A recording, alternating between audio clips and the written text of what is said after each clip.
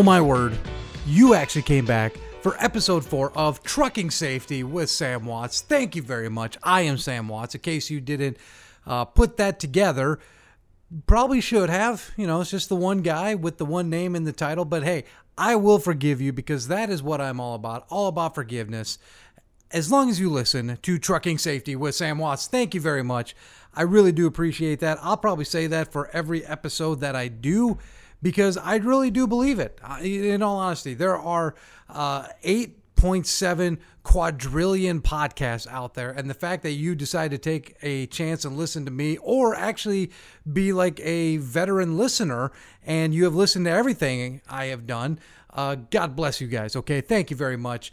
I am truly humbled. I really do appreciate all that you got, all the support you've given me, and is what keeps me coming back every week. Is knowing that uh, I've gotten emails and I've got comments and messages saying, you know, that you actually like what I'm doing.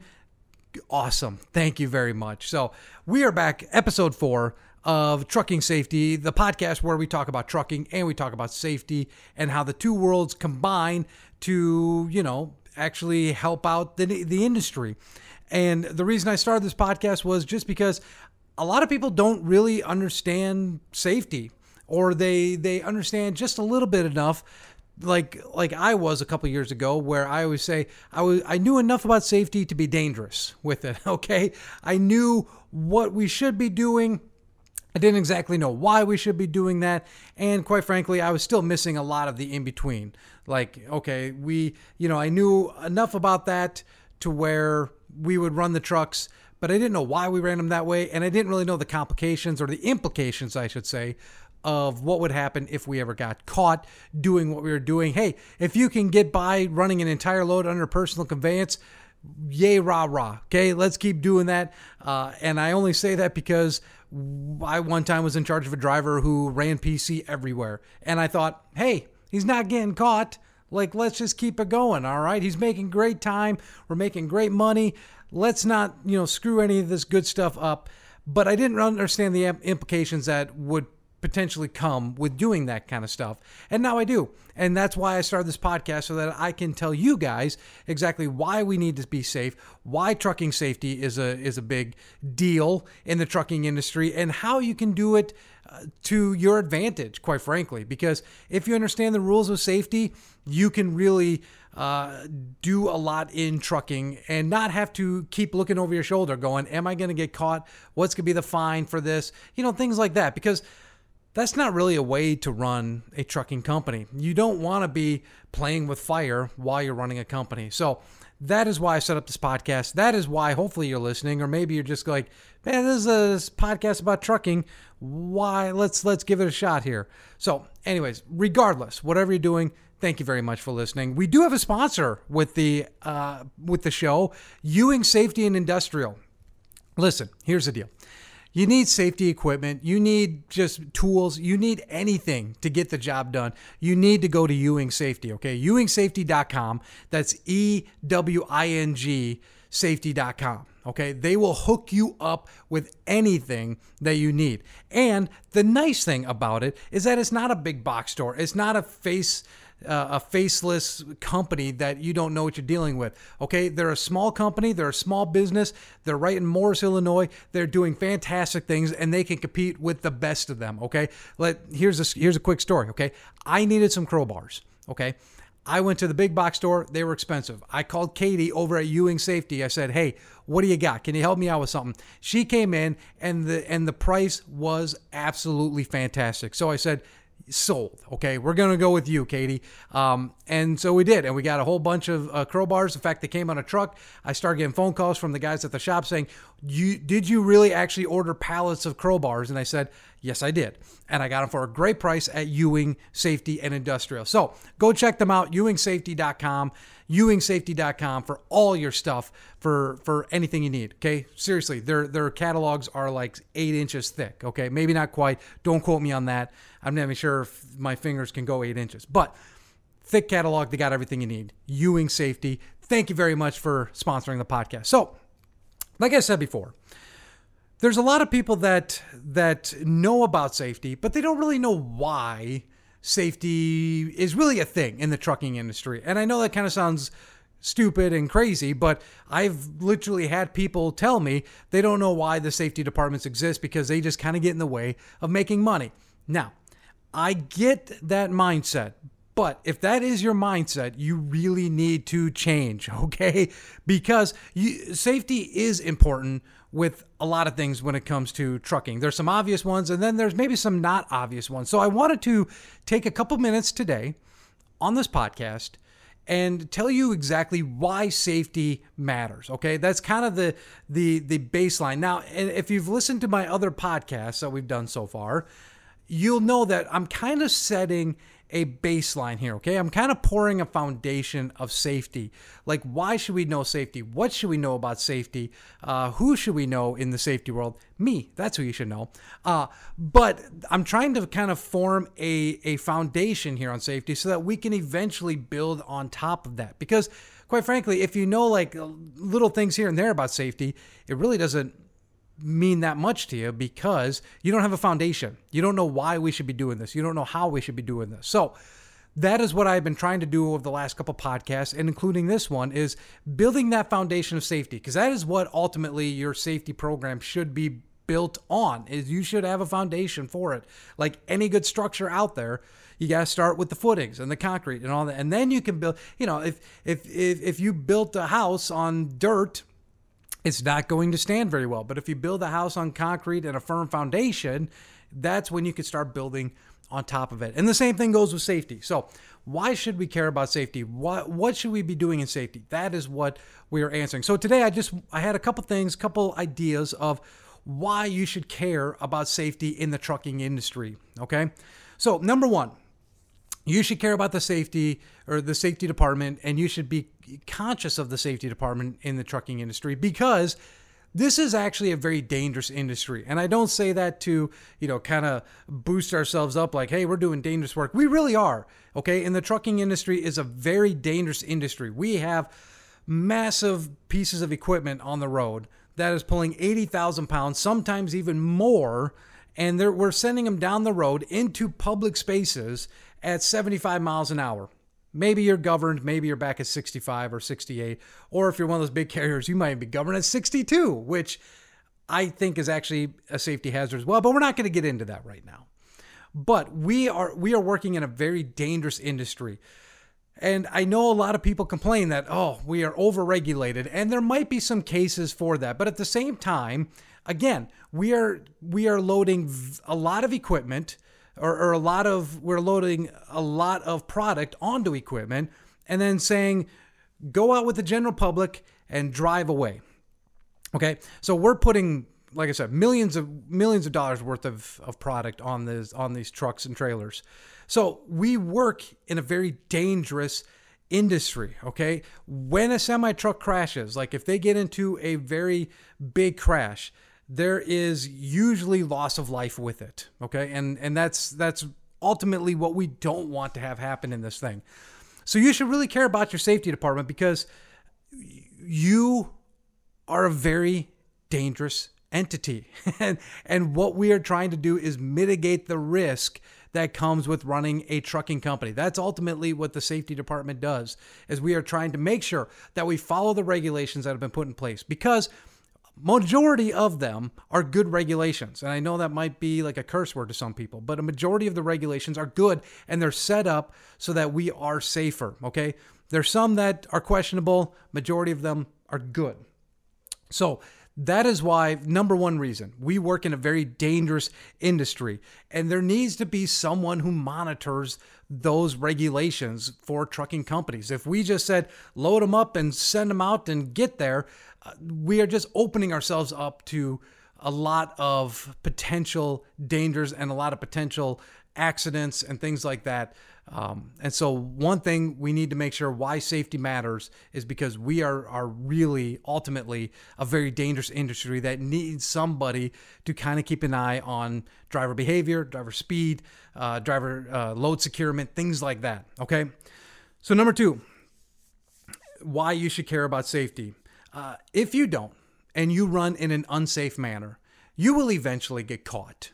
Okay. You will eventually do something that'll get you caught and could end in very bad uh, consequences for you.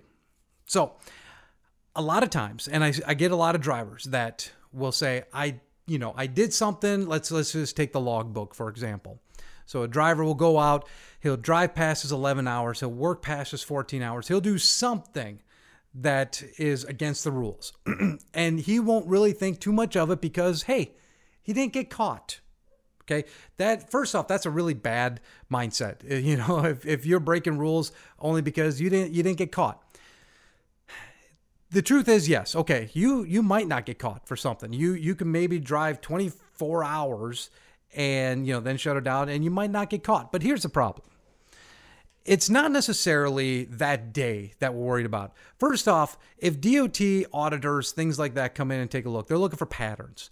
Okay. And if you're someone who habitually ignores the rules that have been set out for you, you're going to have this pattern of, of insubordination, basically, that auditors are going to see right away. And that's what's going to get you caught. And you say, well, I'm not getting audited. I really don't have to worry about that. You never know when you're going to get audited. Okay. Because here's the deal audits usually happen, and now there's there's different ways that happens, you know, but typically an audit will come in either at the end of your first year of your MC or if you get into an accident. Now, here's a bad situation. You get into an accident, DOT, the troopers, lawyers will go back and they'll look at previous logs, okay?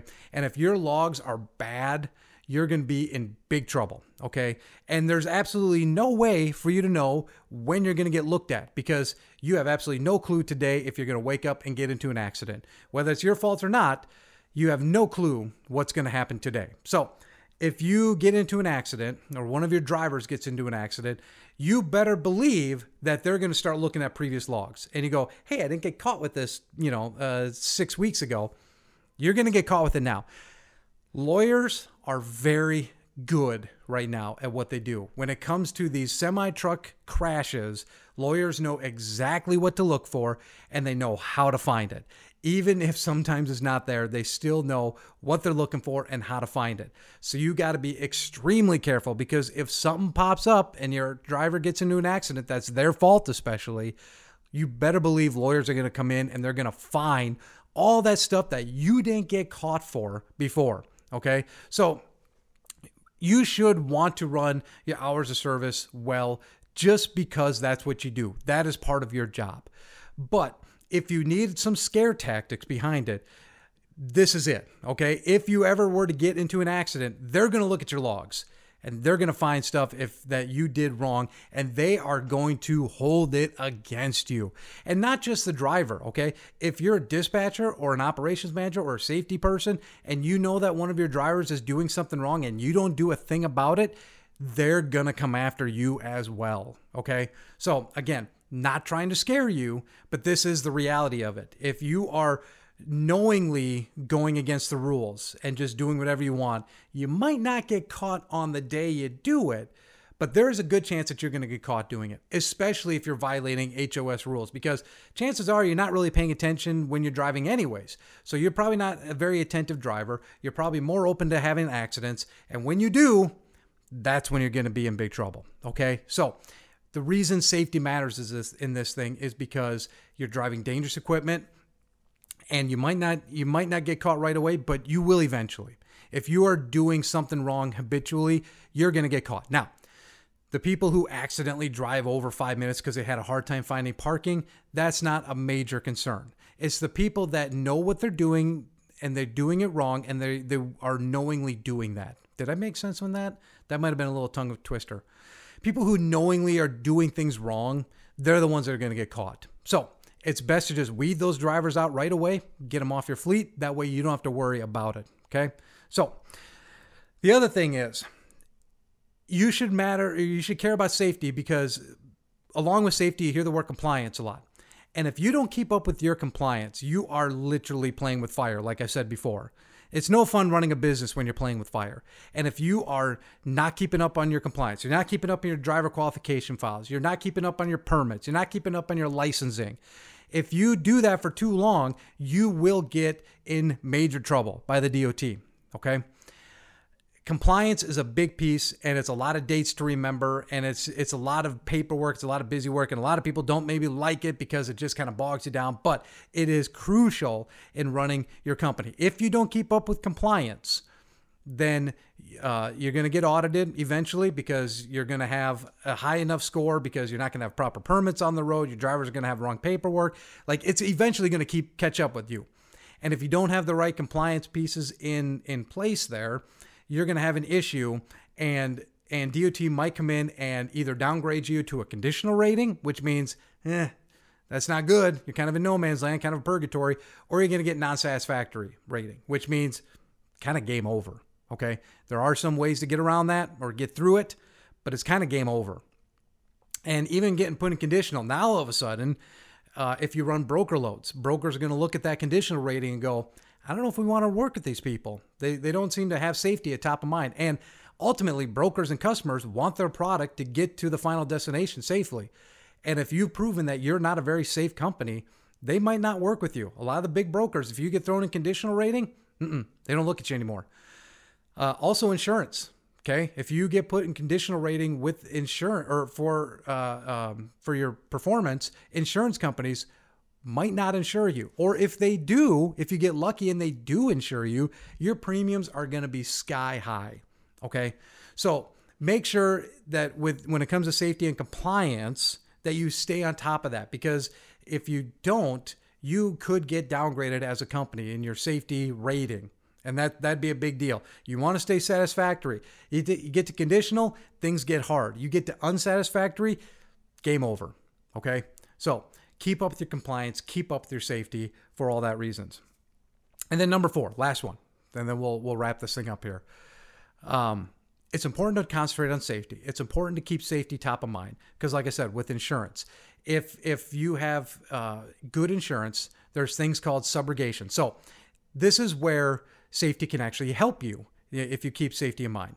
Uh, because if you get into an accident and it's not your fault, insurance companies can subrogate that. So you can actually go and collect money from the company that hit you. Like they'll pay for it.